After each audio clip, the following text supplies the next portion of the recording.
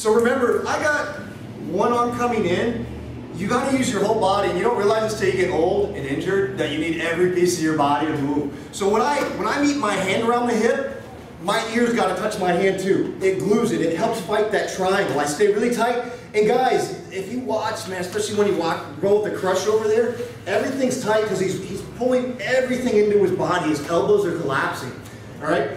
From here, guys, inside hand, I pull down a little bit, just on the pant leg, okay? Enough to where when I pull it down, I can straighten my leg like this, and then bring my shin back over.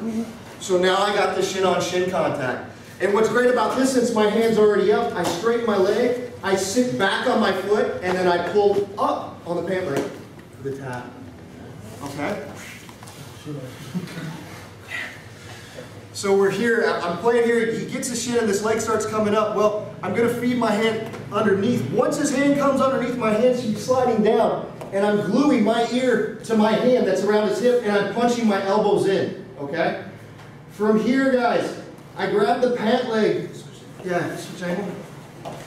The pant leg here, this kind of, it helps me get across. I actually, I'm pulling up by the thigh and I'm kind of punching down.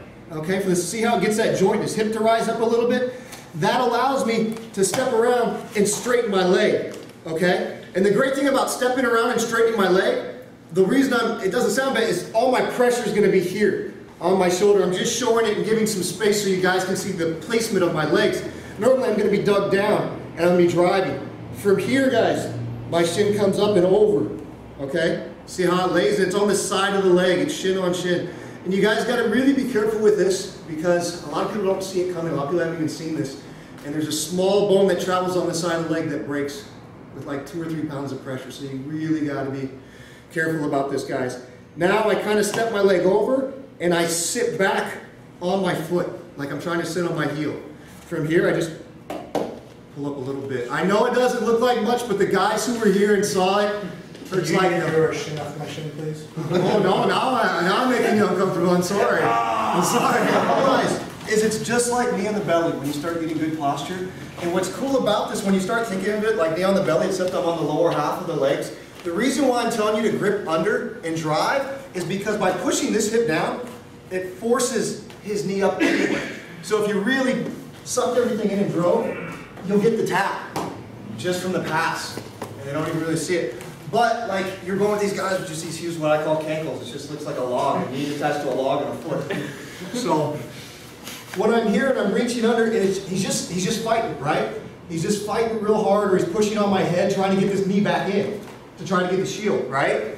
Perfect. That's exactly what I wanted him to do. I wanted him to get the shield because now I kind of just push my chest on his leg, slide my hand back to the foot, and pull up with both hands like a bow and arrow. And then that's what'll break the bone. Okay? So.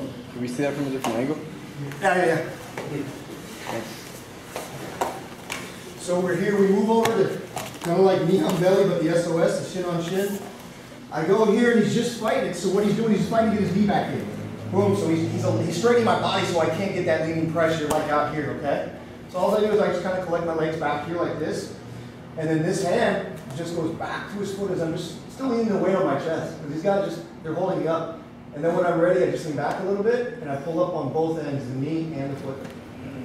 This one's even tighter than the last one, so be very, very careful. You guys got it? All right, let's try it.